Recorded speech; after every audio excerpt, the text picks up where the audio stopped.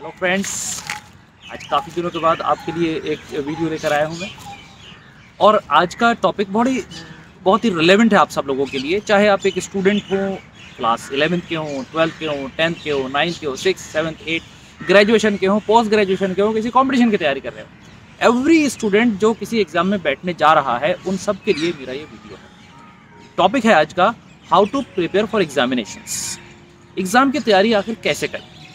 बहुत सारे लोग ये सवाल पूछते हैं और बहुत सारे स्टूडेंट्स ने और टीचर्स ने आके मुझसे ये कहा कि आप इस टॉपिक पर प्लीज़ एक वीडियो बनाइए, जिसमें कुछ टिप्स हों कि किस तरह से सक्सेसफुली आप एग्ज़ाम की तैयारी करें और अच्छे मार्क्स लाएँ और अच्छे से उसको पास कर सकें। मार्क्स लाना इतना इंपॉर्टेंट नहीं है, मैं ये मानता हूँ। ये मेरे पर्सनल व्यू है, मैं गलत भी हो सकता हूँ। मार्क्स लाना इतना इंपॉर्टेंट नहीं है जितना जानकारी होना इंपॉर्टेंट है। आपके पास नॉलेज है, भले ही आपके मार्क्स कम आए हो, लेकिन आप किसी भी जगह पर मात नहीं खाएँगे। लेकिन आपके पास मार्क्स बहुत अच्छा है, लेकिन नॉलेज नहीं है तो उन मार्क्स का आप क्या करें? कोई इंटरव्यू होगा, कोई आपसे कुछ पूछेगा, कभी आपको कुछ लिखना होगा कभी कभी जवाब देना होगा तो आप नहीं दे पाएँगे। मार्क्स तो बहुत अच्छे हैं पेपर पे, लेकिन आता नहीं है कुछ। तो I feel knowledge is more important than marks और नॉलेज का application is more important than knowledge ये तीनों चीज़ें बहुत ज़रूरी है। बहरहाल एग्ज़ाम की तैयारी करें तो कैसे करें? सबसे पहली बात, जो सबसे पहली टिप मैं आपको देने जा रहा हूँ don't cram the things don't try to mug up रटने की कोशिश ना करें। वो लोग सक्सेसफुल कभी भी नहीं हो पाते हैं जो रट करके पास होना चाहते हैं। रट करके पास होने का मतलब ये है कि आपने एक सवाल लिया, उसको समझा, उसका जवाब रट लिया, याद कर लिया। अब अगर उस सवाल से हटके उस सवाल में कुछ आ जाता है तो आप नहीं कर पाते हैं उसको। रटे, कहते हैं रटंदी विद्या चलंती नहीं, ऐसा कुछ कहा जाता है। तो रटने वाला जो काम है वो नहीं चल पाता है, बजाय उसके समझ के याद करें। समझ लें उस चीज़ को। तो अगर आपका सवाल कुछ ट्विस्ट होकर आएगा क्वेश्चन में कुछ इधर उधर भी हो जाएगा तो आप उसको समझ के आंसर दे पाएँगे। उसी में से जो आपने लर्न किया था, या जो आपने तैयार किया था। ये तो थी tip number one tip number two सबसे इंपॉर्टेंट होती है, किसी भी एग्ज़ाम में आपको आंसर को लिखना होता है। तो जब भी आप कुछ याद करते हैं, कुछ तैयार करते हैं तो उसको लिख कर ज़रूर देखिए। कहाँ कॉमा लगना है, कहाँ कहाँ फुल स्टॉप लगना है इंग्लिश है तो स्पेलिंग्स कैसी होंगी? ऑल दीज थिंग्स ये तभी आएँगे जब आप उसको लिख लिख कर देखेंगे। जितना याद किया, जितना तैयार किया, उसको लिख लीजिए। जितना तैयार किया, उसको लिख लीजिए। कुछ चीज़ें ऑफकोर्स आपको याद करनी पड़ती हैं लर्न करनी पड़ती हैं, रटनी पड़ती हैं, जैसे कोटेशंस है। वो कोटेशंस तो आपको लर्न करनी पड़ेंगी बाई हार्ट उसका और कोई आपके पास चारा नहीं है। तो दूसरी टिप मेरी ये है कि जो भी आप तैयार करते हैं, उसको लिख कर ज़रूर देखें। एक नहीं कई कई बार लिख करके देखें। तीसरी बात जितना आपने तैयार कर लिया है, उतने पे फोकस करें। जब आपके एग्ज़ाम से एक या दो दिन रह जाएँ तो नया याद करने की कोशिश बिल्कुल मत कीजिए। नया तैयार करने की कोशिश मत कीजिए। मान लीजिए, दस चैप्टर्स हैं। दस में से आपके नौ चैप्टर बहुत अच्छे हो गए। अब आप उस एक चैप्टर पर बिल्कुल भी फोकस मत कीजिए, जो आपको नहीं आता है। आप उन नौ चैप्टर पर फोकस कीजिए, जो आपको आते हैं।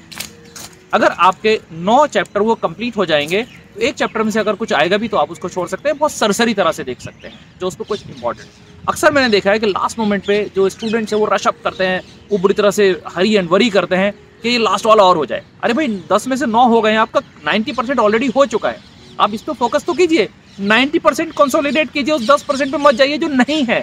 दिस इज़ रियली इंपॉर्टेंट और चौथी मेरी जो टिप है, वो खासतौर से टीचर्स और पेरेंट्स के लिए है या आप बड़े भाई बहन है, किसी स्टूडेंट के जो आपका स्टूडेंट जो आपका बच्चा, आपका भाई बहन कोई पेपर में अपेयर होने जा रहा है, किसी भी एग्ज़ाम में अपेयर होने जा रहा है, उसको कभी ये मत कहिए अच्छे मार्क्स लाने।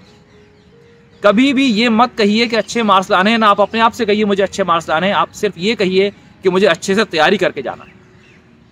आपके हाथ में मार्क्स नहीं है मार्क्स तो ऊपर वाले हैं। आपके हाथ में अच्छे से तैयारी करना है, अच्छे से जवाब लिखने हैं, अच्छे से अपने क्वेश्चंस के आंसर्स को लिखना है, बहुत अच्छे से अटैम्प्ट करना है। ये बहुत ज़रूरी है। प्रेशर जो है वो मार्क्स का अपने ऊपर मत बनाइए, दूसरे दूसरे, दूसरों को मत बनाने दीजिए और जो आपसे एल्डर या टीचर्स कह भी रहे हैं तो उन पर भी, उनको भी थोड़ा सा समझा दीजिए कि मैं इतने अच्छे से तैयारी कर ली मार्क्स भी अच्छे ही आ जाए। Don't worry about the don't focus on marks focus on learning and knowledge learning से मेरा मतलब रिटर्न से नहीं लर्निंग से मतलब जो चीज़ हम नई सीख रहे उसके बाद आता है एग्ज़ाम टाइम जब आप एग्ज़ाम में जा रहे हैं तो थोड़ा टाइम लेकर चलिए। जैसे एक घंटा रह गया है, एक घंटे में आपका एग्ज़ाम शुरू है तो कम से कम दो घंटा पहले घर से निकलिए, अगर आपका दूर है।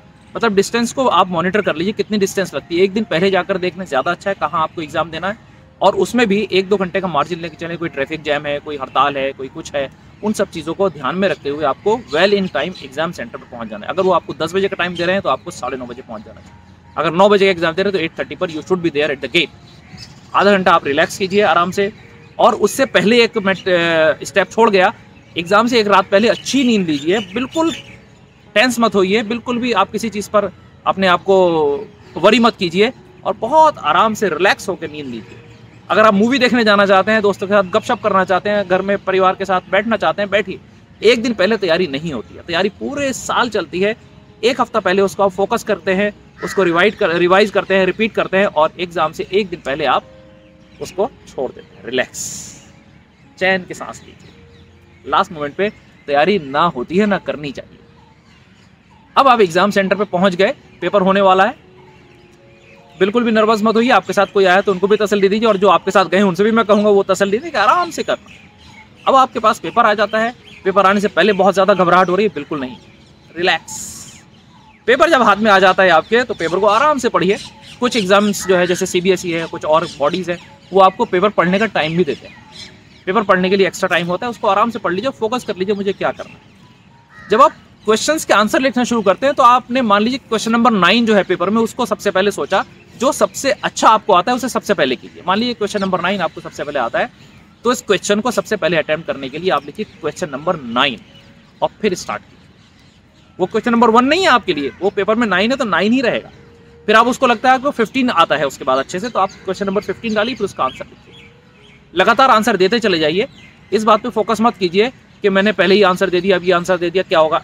कोई सीरियस सीरी, सीरीज़ में आने की ज़रूरत नहीं है आपको सीरियल से आने की ज़रूरत नहीं आप जिस तरह से आप लेकिन आपको सीरियल नंबर वो लिखना है जो क्वेश्चन पेपर में दिया हुआ है अपना सीरियल नंबर अलग से नहीं बनाना है। अगर वहाँ पर लिखा है A point one point two तो A point one point two ही लिखना है आपने उसका। और हेडिंग डाल दीजिए अच्छे से। आप किस सवाल का जवाब लिख रहे हैं किस क्वेश्चन का आंसर लिख रहे हैं और फिर लिखिए। जो वैल्यू पॉइंट्स हैं, उनको आप अंडरलाइन करना चाहें तो अंडरलाइन कर सकते हैं हाईलाइट करना चाहें तो हाईलाइट कर सकते हैं। नर्वस मत होइए।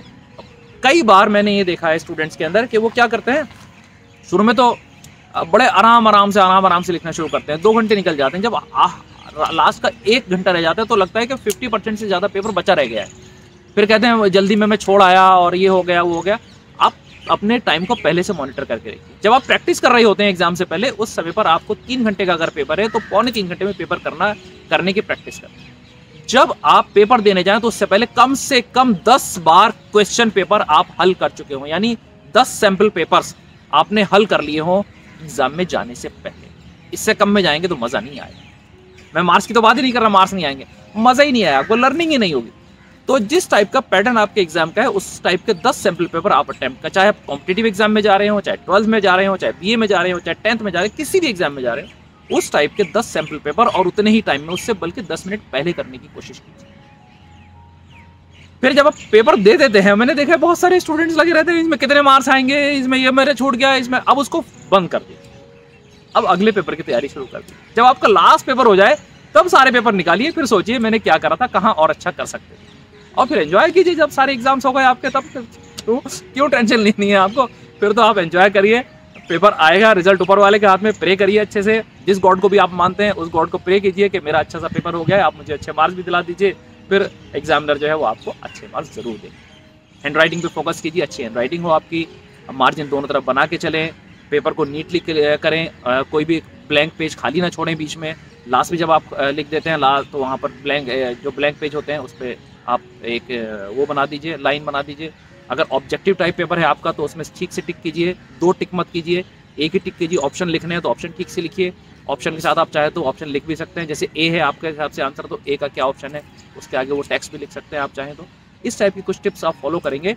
बस सबसे बड़ी बात है रिलैक्स रहना है आपको यहाँ से और यहाँ सबसे बड़ी टिप मेरी ये। आई थिंक आपको ये वीडियो ज़रूर अच्छा लगा होगा, और अगर वीडियो अच्छा लगा तो जैसे हम हमेशा ही कहते हैं, सभी कहते हैं लाइक कर दीजिए सब्सक्राइब कर दीजिए, और अपने दोस्तों के साथ शेयर कर दीजिए। और अगर आपको कुछ इसमें और जानने की कोशिश कुछ आपको चाहत है तो वो भी मुझे बता दीजिएगा। अगले वीडियो में इसको, इसका कंटिन्यूशन ले लेंगे, और किसी वीडियो में और बहुत सारी डिटेल में बातें करेंगे। Thank you very much